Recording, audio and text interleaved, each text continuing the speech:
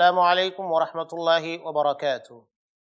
بسم اللہ الرحمن الرحیم، وبہ نستعین، وصلی اللہ علیہ نبینا محمد وعلیٰ علیہ وصحب اجمعین، ومن طبیم بحسان الام الدین، وبعد۔ محترم ناظرین، اس سے قبل کی نشستوں میں میں نے بخاری کی ایک اہم روایت کو آپ کے سامنے اتباع کے باب کی حیثیت سے پیش کیا۔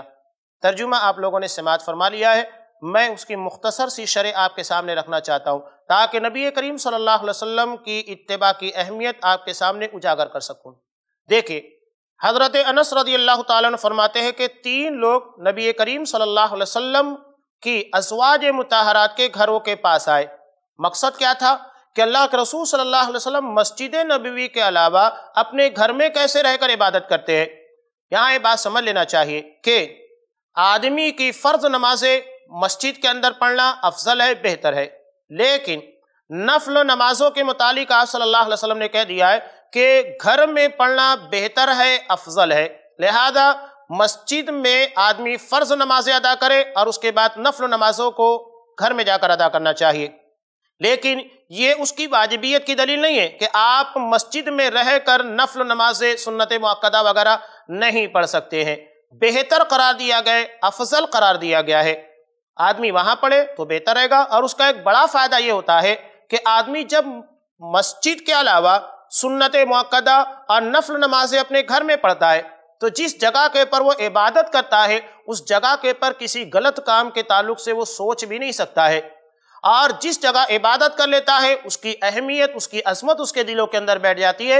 اور وہاں پر کسی برے کام یا کسی گناہ کے تعلق سے دل آمادہ نہیں ہوتا ہے۔ یہ اہم بات ہے جو نفل نمازوں کے گھر میں ادا کرنے کی اہمیت کے پر دلالت کرتی ہے اور اس کا ایک بڑا فائدہ ملتا ہے۔ اس کے علاوہ گھر میں رہنے کے بعد بچے ہیں۔ بچے آپ کو جب نماز پڑھتے ہوئے دیکھیں گے تو اس کا فائدہ یہ ہوگا کہ آپ کے بچوں کے اندر بھی شوق پیدا ہوگا۔ وہ بھی نماز کی طرف راغب ہوں گے اور وہ بھی آپ کے ساتھ مسجد کے اندر آیا کریں گے۔ سلف میں سے ایک شخص کہتے ہیں کہ جب میں گھر میں رہ کر نماز ادا کرتا ہوں اور میرے بچے مجھے نماز پڑھتے ہوئے دیکھتے ہیں، تو میں جان بوجھ کر اپنی نماز کو طویل اور بہت ہی اہتمام کے ساتھ ادا کرتا ہوں، تاکہ میرے بچے میری نماز کو دیکھنے کے بعد ویسے ہی نماز پڑھنے کی کوشش کرے، میری نماز کی کاپی کرنے کی کوشش کرے۔ اس لیے کہ ایک بچے کی نگاہ میں سب سے بہترین آئیڈیل، بہترین نمونہ اسوا اور بہترین ماڈل اس کے اپنے والد ہوا کرتے ہیں اور وہ اپنے باپ کی ایک ایک ادا کی نقل کرنے کی کوشش کرتا ہے۔ لہذا تمام سرپرستوں سے اور وہ لوگ جن کو اللہ تبارک و تعالیٰ نے اولاد عطا کی ہے، میں گزارش کرتا ہوں کہ اپنے بچوں کے لیے خود ہی آئیڈیل اور ماڈل بنیے۔ انہیں کسی اور کی طرف لے جانے کی ضرورت نہیں ہے اور انہیں کسی اور اسوے اور نمونے کے دکھانے کی ضرورت نہیں ہے۔ سب سے بہترین نمونہ آپ ہوتے ہیں، آپ اپنے بچے کے لیے سب سے بہترین قدوہ بن سکتے ہیں، نمونہ ثابت ہو سکتے ہیں۔ آپ صلی اللہ علیہ وسلم کیسے اپنے گھر میں نماز ادا کرتے تھے جاننا چاہتے تھے۔ وہاں جانے کے بعد جب معلوم ہوا کہ اللہ کا رسول صلی اللہ علیہ وسلم اس اس طریقے سے عبادت کرتے ہیں، تو انہوں نے اس عبادت کو بہت کم تصور کیا۔ اور یہی بنیادی مسئلہ ہے، فکر کی غلطی ہے کہ جتنا نبی کریم صلی اللہ علیہ وسلم نے عبادت کا طریقہ بتا دیا ہے، ہم اسے کافی نہ سمجھے بلکہ اس سے زیادہ کرنے کی کوشش کریں۔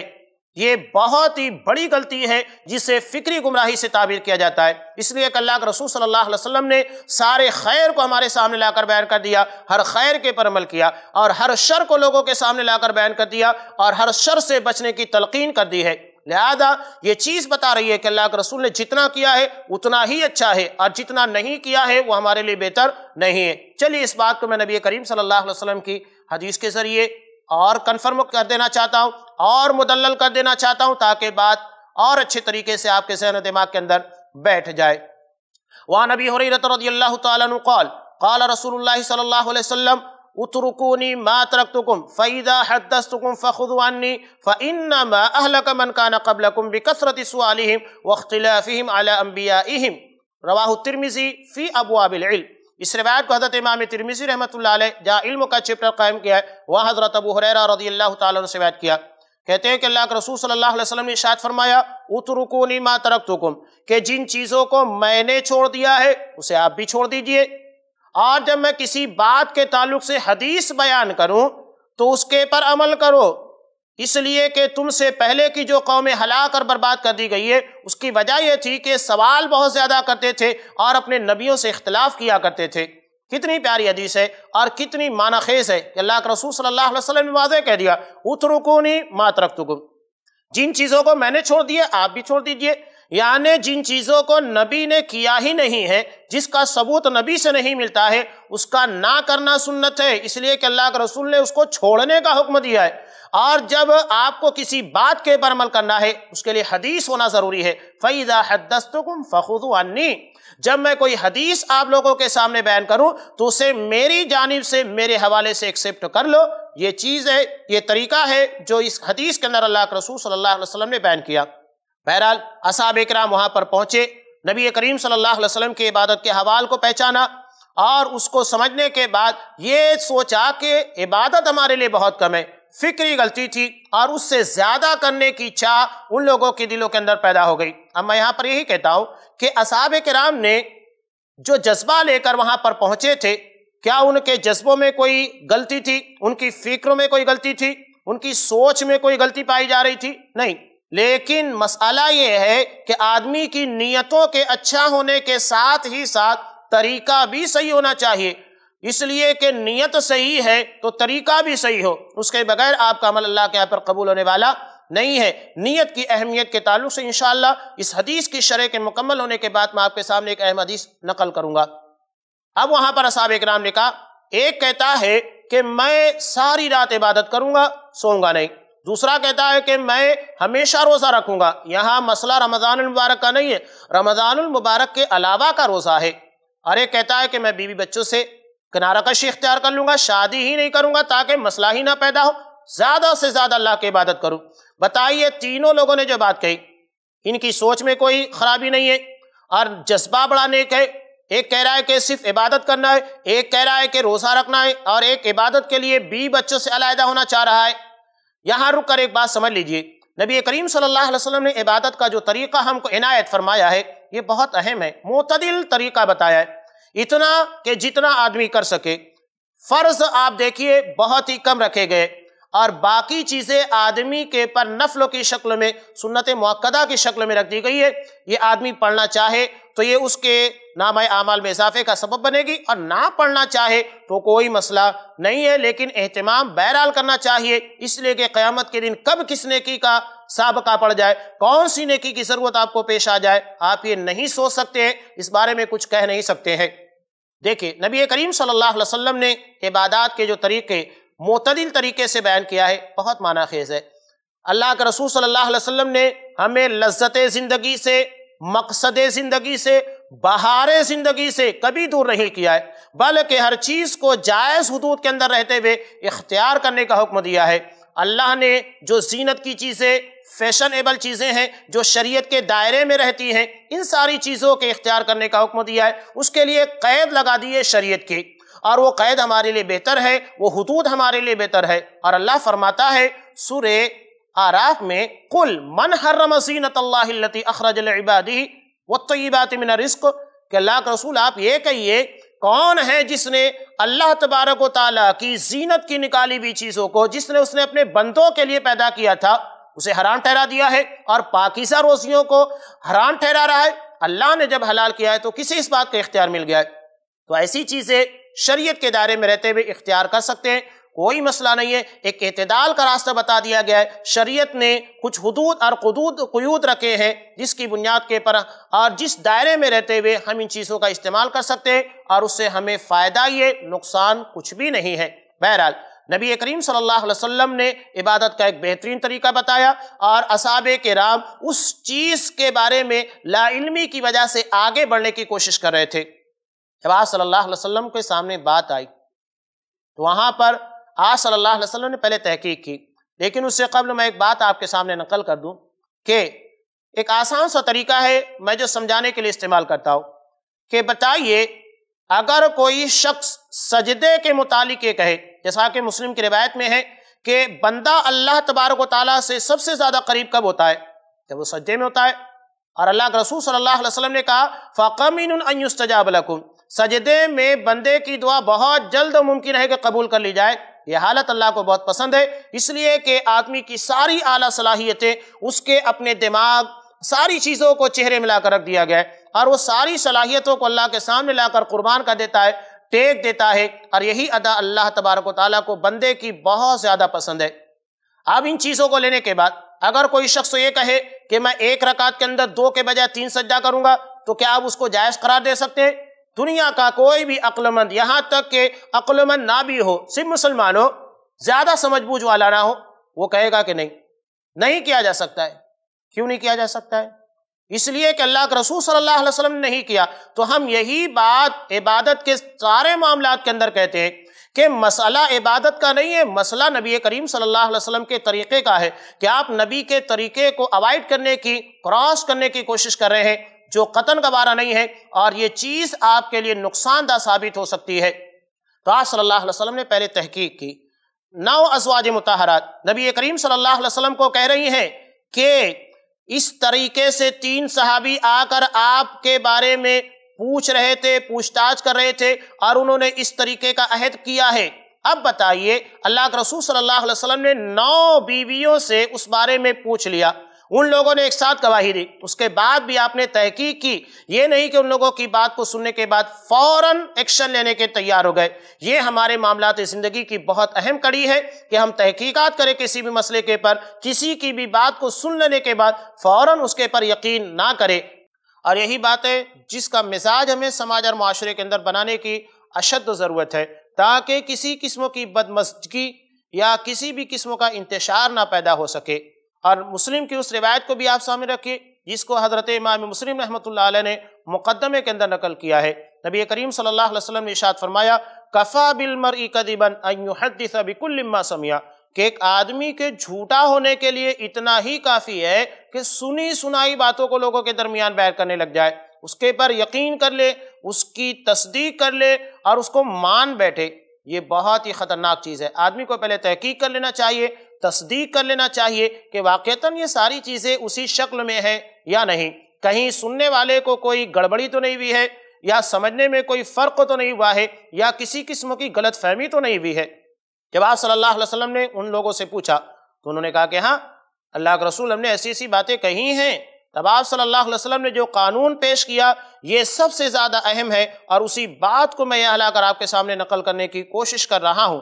اللہ کے رسول صلی اللہ علیہ وسلم نے کہا اما واللہ، سنو اللہ کی قسم، میں نے اس سے قبل بھی اس بات کی وضاحت کی کہ نبی اگر کسی مسئلے کے پر قسم کھاتا ہے تو جان لینا چاہیے کہ وہ مسئلہ بڑا پیچیدہ ہے، مسئلہ بڑا نازک ہے اور جس بات کے پر نبی قسم کھا رہا ہے، وہ بہت اہمیت والا مسئلہ ہے۔ تب اللہ کے رسول صلی اللہ علیہ وسلم وہاں قسم کھا رہے ہیں۔ اللہ کے رسول صلی اللہ علیہ وسلم نے قسم کھا کر کہا، انی لاکشا کم للہ کا کملہ میں تم لوگوں میں سب سے زیادہ اللہ کا خوف اور اللہ کا تقوی رکھنے والا، کوئی کتنی بھی کوشش، کتنی بھی عبادت کر لے، وہ قطن میرے مقام تک نہیں پہنچ سکتا ہے۔ نہ میری خشیت کی طرح اللہ کا خوف اپنے دلوں میں بٹھا سکتا ہے، نہ اللہ کا تقوی جیسے میں رکھتا ہوں، وہ اپنے دلوں میں بٹھا سکتا ہے۔ اس کے بعد آپ صلی اللہ علیہ وسلم نے کہا، میں کیا کرتا ہوں؟ اسلی بار خود میں رات کو نماز بھی پڑھتا ہوں اور سوتا بھی ہوں یعنی کچھ حصہ نماز ادا کرتا ہوں کچھ حصہ اپنے بدن کو راحت دینے کے لیے، اپنے بدن کے حق کو ادا کرنے کے لیے سو جاتا ہوں۔ اس کے بعد وہ اتزوج النساء، میں نے شادی بھی کی ہے۔ وہ آسوم اور میں روزہ بھی رکھتا ہوں۔ اور وہ افطن روزہ نہیں بھی رکھتا ہوں۔ اسلی نماز بھی پڑھتا ہوں۔ نماز، یہ ساری چیزیں میری زندگی کے اندر لگی ہوئی ہے یعنی ایک عام زندگی جو ایک عام آدمی کی ہونا چاہیے، وہ ساری زندگی کے عادت و اتوار میرے اندر پائے جاتے ہیں، لیکن اس کے باوجود میں اللہ کا سب سے زیادہ متقی، اللہ کا سب سے زیادہ خوف رکھنے والا بندہ ہوں۔ اور میں نے شادی بھی کی ہے۔ اس کے بعد آپ صلی اللہ علیہ وسلم نے سنت کا دائرہ کی دیا کہ میری یہ سنت کا دائرہ ہے۔ جو اسے کراس کرنے کی کوشش کرے گا، اسے سمجھ لینا چاہیے کہ اس کا تعلق مجھ سے نہیں ہے۔ یہاں پر اس حقیقت کو میں آپ کے سامنے نقل کر دیتا چاہتا ہوں۔ اور انشاءاللہ اس کے بعد کی جو حدیث آنے والی ہے، وہ اس بات کے پر واضح دلیل ہوگی۔ ایک بات ہے بڑی پیاری۔ کیا ہے؟ کہ عبادات کے معاملے میں کوانٹیٹی کے پر ہمیں کوئی اختیار نہیں دیا گیا ہے۔ کہ ہم نماز جمعہ دو رکعتیں تین نہیں کر سکتے، نماز چار رکعتیں پانچ نہیں کر سکتے یا تین نہیں کر سکتے۔ کوانٹیٹی کے پر کوئی اختیار نہیں دیا گیا۔ البتہ کوالٹی کے پر کتنے اچھے طریقے سے آپ کو نماز ادا کرنا ہے، کتنے اچھے طریقے سے عبادت کرنا ہے، یہ آپ کو مکمل اختیار عطا کیا گیا ہے اور اجر و ثواب کی کمی و زیادتی اسی کے پر منحصر رہتی ہے۔ انشاءاللہ وہ حدیث جب میں آپ کے سامنے نقل کروں گا تو یہ بات کھل کر آپ کے سامنے آ جائے گی کہ نیتوں کا مقام دین میں کیا ہے، حدیث اس کے تعلق سے کیا کہتی ہے؟ بہرحال آپ صلی اللہ علیہ وسلم نے اس بات کو بالکل واضح کر دیا کہ ہر چیز میری سنت کے دائرے میں ہونا چاہیے، چاہے وہ نماز ہو، روزہ ہو، حج و سکات ہو، کوئی بھی چیز ہر چیز میری سنت کے دائرے میں۔ اگر کوئی چیز میری سنت کے دائرے کے باہر نکل جاتی ہے تو پھر اس کا تعلق مجھ سے نہیں رہ جاتا ہے۔ اور جس کا تعلق نبی کریم صلی اللہ علیہ وسلم سے نہیں ہوگا تو اس کے پر اجر و ثواب کی امید رکھنا بے معنی ہے۔ آدمی کو کسی صورت میں اللہ تبارک و تعالیٰ ثواب نہیں دے گا، اس لیے کہ جو طریقہ اور جو اصول اللہ نے نبی کی سنت کے دائرے کے اندر رکھ دیا ہے، اسے توڑ دیا گیا ہے۔ اور صلی اللہ علیہ وسلم کی اطاعت اور فرما باداری کے خلاف کام کیا گیا ہے، اسے قدم قبول نہیں کیا جائے گا۔ چاہے وہ نماز ہو، روزہ ہو، کچھ بھی ہو، نبی کی سنت کے دائرے میں رہنا چاہیے، تبھی اسے قبول کیا جائے گا۔ ایک اہم بات اللہ کے رسول صلی اللہ علیہ وسلم نے یہاں یہ بھی بیان فرمائی، نکاح کے تعلق سے۔ بہرحال اپنے وقت کے پر آنے کے بعد، نکاح کے متعلق نبی کریم صلی اللہ علیہ وسلم نے کتنا عظیم الشان اصول امت محمدیہ کے حوالے کیا ہے۔ وہاں پر یہ باتیں آپ کے سامنے انشاءاللہ رکھی جائے گی اور وہاں پر اس کی اہمیت کو اجاگر کرنے کی اور روشن کرنے کی کوشش کی جائے گی کہ اللہ کے رسول صلی اللہ علیہ وسلم نے طریقہ نکاح کتنا سادہ، کتنا آسان امت محمدیہ کے حوالے کیا ہے اور یہ بہت بڑا احسان ہے۔ ورنہ اگر اس طریقے کو نہ اپنایا جاتا تو اس کے نتائج کتنے خطرناک ہو سکتے تھے، یہ ساری تفصیلی بحثیں انشاءاللہ نکاح کے باب میں کہ کس طریقے سے اللہ کے رسول صلی اللہ علیہ وسلم نے طریقہ نکاح بتا کر اور عملاً اس کو لوگوں کے سامنے کر کے دکھا کر امت محمدیہ کے پر ایک عظیم احسان کیا ہے۔ چلیے آئیے اب اس حدیث کے پر، جو آدمی کی نیتوں کی اہمیت کے پر دلالت کرتی ہے۔ اس لیے کہ عبادات ظاہری طور پر نبی کریم صلی اللہ علیہ وسلم کی سنت کے طریقے کے مطابق ہونا چاہیے، آپ کی سنت کے دائرے میں ہونا چاہیے، اور اس کے علاوہ اس میں نیتوں کا بڑا عمل دخل ہوتا ہے کہ نیتوں کے اندر اگر ریا پیدا ہو جائے تو یہ ہمارے اعمال کو ضائع اور برباد کر دیتی ہے۔ اللہ قطن اس کو قبول نہیں کرتا ہے۔ نیتوں کے تعلق سے ایک بہت ہی پیاری حدیث ہے، میں آپ کے سامنے پیش کر رہا ہوں۔ وعن ابن عباس رضي الله تعالى عنهما عن رسول الله صلى الله عليه وسلم فيما يروي عن ربه تبارك وتعالى قال إن الله كتب الحسنات والسيئات ثم بين ذلك. فمن أما فمن هم بحسنة فلم يعملها كتبها الله عز وجل عنده حسنة كاملة. وإن هم بها وعملها كتبها الله عنده عشر حسنات إلى 700 ضعف إلى ضعف كثيرة. وَإِنْ هَمَّ بِسَيَّةٍ فَلَمْ يَعْمَلْهَا كَتَبَ اللَّهُ عِنْدَهُ حَسَنَةً وَاحِدَةً وَإِنْ هَمَّ بِهَا وَعَمِلَهَا كَتَبَهَا اللَّهُ عِنْدَهُ سَيِّئَةً وَاحِدَةً رواہ البخاری فی کتاب رقاق اس روایت کو حضرت امام بخاری رحمۃ اللہ علیہ، جہاں رقاق دلوں کو نرم کر دینے والی چیزوں کا چیپٹر قائم کیا ہے، وہاں حضرت ابن عباس رضی اللہ تعالیٰ عنہ سے روایت کیا۔ یہ روایت حضرت عبداللہ ابن عباس رضی اللہ تعالیٰ عنہ نبی کریم صلی اللہ علیہ وسلم سے بیان کرتے ہیں اور نبی کریم صلی اللہ علیہ وسلم اس روایت کو اللہ تبارک و تعالیٰ سے بیان کر رہے ہیں۔ حدیث کی اصطلاح میں اگر کسی حدیث کی صنعت صحابی تک پہنچ جائے تو اسے موقوف کہا جاتا ہے۔ اور اگر اس سند کی انتہا نبی کریم صلی اللہ علیہ وسلم تک ہو اسے مرفوع کہا جاتا ہے۔ اور جس سند کی انتہا اللہ تبارک و تعالیٰ تک ہو، اسے حدیث قدسی کہا جاتا ہے۔ تو یہ حدیث حدیث قدسی ہے۔ اللہ فرماتا ہے کہ ان اللہ قطب الحسنات وسیعت اللہ نے نیکی اور گناہ کو طے کر دیا ہے، متعین کر دیا ہے۔ کون سی چیز نیکی ہے اور کون سی چیز برائی ہے؟ اور صحیح کے دائرے میں آتی ہے، برائی کے دائرے میں آتی ہے۔ اللہ نے اس کو پہلے سے طے کر دیا ہے۔ یہ ذمہ داری اللہ کی ہے۔ اس لیے ہمیں کسی بھی چیز کے نیکی یا برائی ہونے کے لیے قرآن و حدیث کی دلیل کا فراہم کرنا ضروری ہے۔ اس کے بغیر من مانی اپنے طریقے سے کسی چیز کو نیکی یا اپنے من سے کسی چیز کو برائی ثابت نہیں کر سکتے ہیں اور اس کے پر برائی کا اطلاق نہیں کیا جا سکتا ہے۔ اس کے بعد اللہ تبارک و تعالیٰ نے کہا، اگر کوئی شخص نیکی کا ارادہ کرتا ہے لیکن کرتا نہیں ہے، کر نہیں پاتا ہے اس نے سوچا اس کی نیت کے اندر جذبہ پیدا ہوا، لیکن کسی وجہ سے وہ کر نہیں پایا۔ اللہ اس کی نیت کے مطابق ایک مکمل نیکی کا ثواب اس کو عطا کر دیتا ہے۔ اس کے بعد، اگر اس نے نیکی کا ارادہ کرنے کے بعد اس کے پر عمل بھی کر لیا، تب اللہ تبارک و تعالیٰ کم سے کم اس کا ثواب دس گنا دیتا ہے، دس پٹ اور اس کے بعد، اسے سات سو گنا تک لے کر جاتا ہے۔ اور وہاں پر بھی اللہ نے لمٹ کو قائم نہیں کیا ہے۔ حد کو قائم نہیں کر دیا ہے کہ اس کے آگے نہیں دیا جا سکتا ہے۔ اللہ نے کہا، الا کثیرہ۔ اس سے بھی کہیں بڑھا چڑھا کر، دگنا، تگنا، چگنا کر کے اسے دیا جاتا ہے۔ لیکن اگر کوئی شخص کسی گناہ کا ارادہ کرے اور اسے نہ کر سکے یا اللہ کے خوف، اللہ کے ڈر کی بنیاد کے اوپر اس کو چھوڑ دے، تو اللہ تبارک و تعالیٰ اسے ایک مکمل نیکی کا ثواب دیتا ہے۔ لیکن اگر اس نے گناہ کا ارادہ کرنے کے بعد اس کے پر عمل بھی کر لیا تو اسے ایک ہی گناہ دیا جاتا ہے، اس سے زیادہ نہیں۔ یہ حدیث نیت کی اہمیت کو واضح کر رہی ہے کہ کسی بھی عمل میں نیت کی کیا اہمیت اور کیا مقام ہوتا ہے۔ کہ آدمی نماز دو رکعتی ادا کرے، دو لوگ آپ کے سامنے، بلکہ یوں کہیے کہ مسجد کے اندر کئی سو لوگ نماز ادا کر رہے ہیں۔ سارے لوگوں نے نماز جمعہ کو ادا کیا، نماز عشاء کو ادا کیا، نماز فجر کو ادا کیا۔ اعتبار دیکھا جائے تو سارے لوگوں کی نمازیں اپنی جگہ کے پر اتنی ہی ہیں۔ ہر کوئی اتنی ہی رکعت ادا کر رہا ہے۔ ہر کسی نے دو رکعت ادا کی، ہر کسی نے چار ادا کی۔ مغرب ہے تو ہر کسی نے تین رکعت ادا کی۔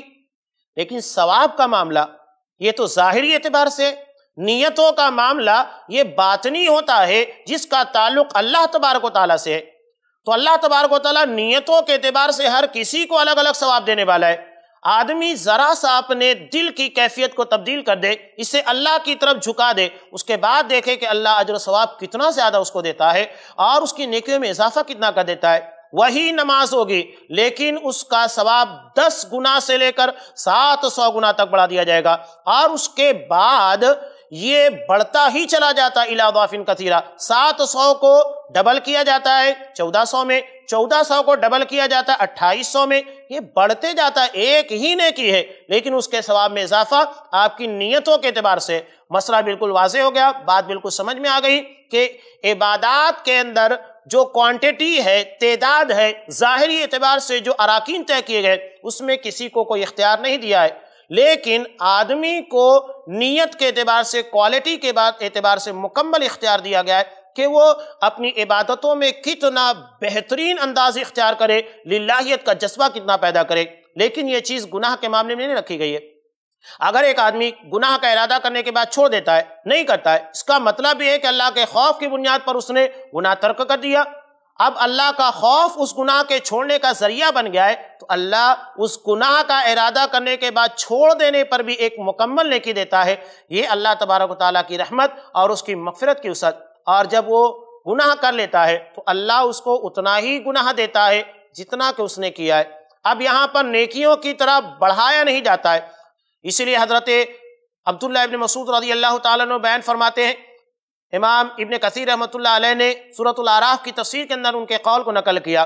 فویل لمن غلبت احاد علی شرائی پس تباہی اور بربادی ہے اس شخص کے لیے کہ جس کی دہائیوں کے پر اس کی اکائیاں غالب آ جائے۔